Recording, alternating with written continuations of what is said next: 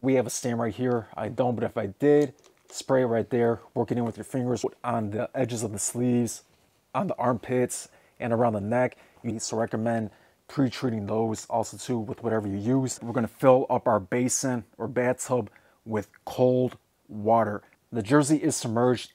All right guys, so I do recommend getting a longer basin or the bathtub works perfect because the numbers can lay completely flat. Time for the next step. Next, all we're gonna do is take a little bit of that odorless and colorless soap and drop it in there. You're gonna switch the jersey around, work it, get the soap in there. I drained this soapy water. Now we got clean water in this basin.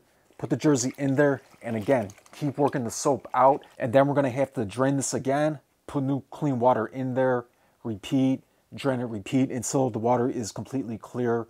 Okay, and finally guys, all you're gonna do is throw it on a hanger to hang dry.